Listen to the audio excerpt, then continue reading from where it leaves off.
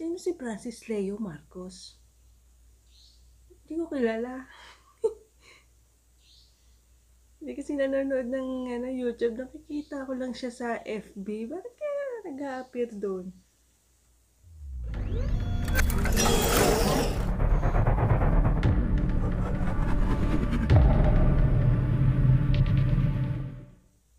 Good morning, Philippines. Good morning, Taiwan.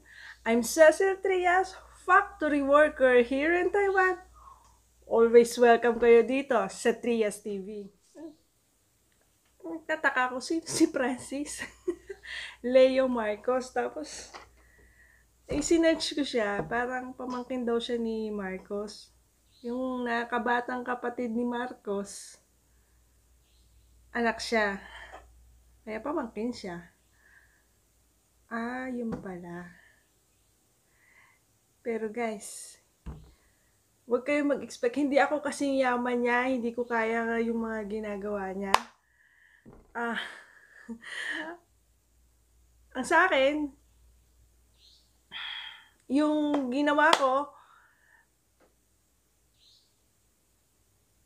alam niyo yung, syempre malayo kayo. Nag-aalala kayo sa pamilya nyo. Ako, ah, tatlong beses ako nagpaalam na uuwi. Katulad nyo, na-lockdown din ako dito.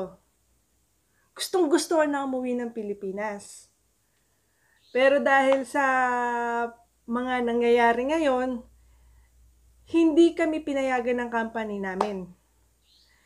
Tapos, yung kasama ko pa nga na isa, may ticket na siya, aalis na siya dapat ng katapusan ng March. Hmm, Paano makakauwi? Mahirap eh. Eh, sa akin lang naman, kaya ko ginagawa to, alam mo yung na pagod ka sa trabaho, na-stress ka, pag ano mo, balita na ma, ma ano mo sa Facebook, sa YouTube, sa balita, ang ano mo, oh, ito puro ganito, ah, ang daming sakit na naging affected ng ganito. Araw-araw yan. Araw-araw makikita mo, tumataas, tumataas. Hanggang ngayon.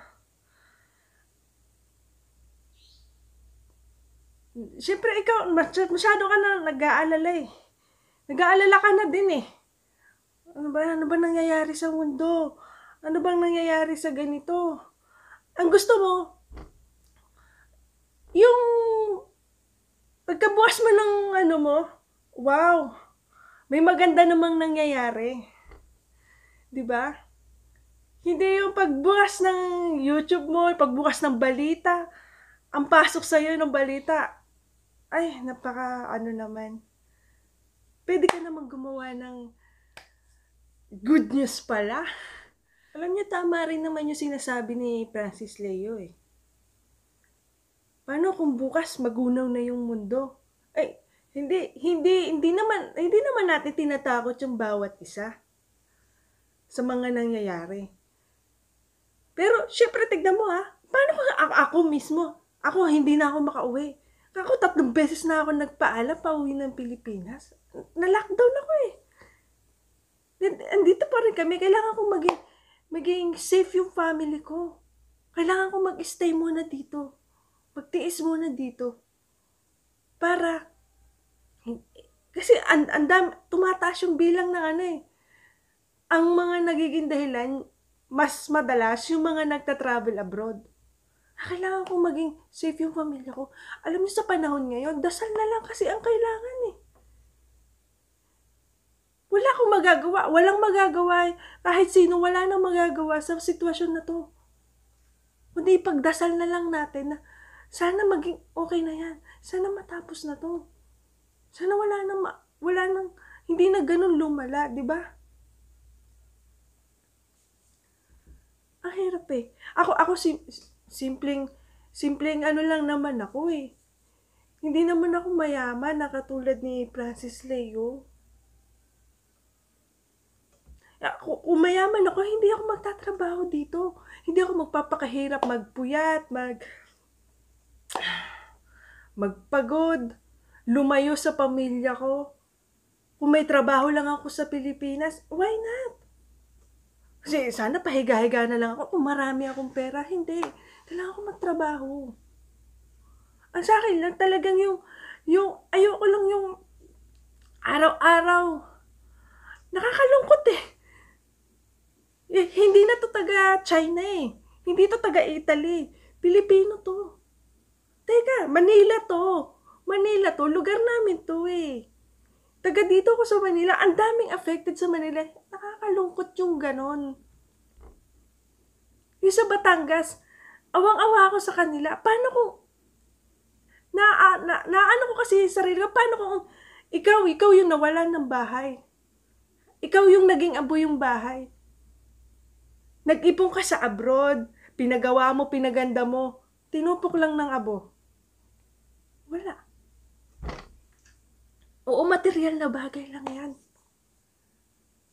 Pero syempre, pinaghirapan mo yung mga yun. Pero baliwala lahat yun. Kaya sana, tulungan tayo.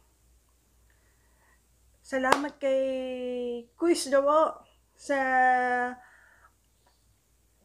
tumulong sa akin dyan sa Pilipinas na makapaghatid ng kaunting tulong. Sama-sama tayong magdasal.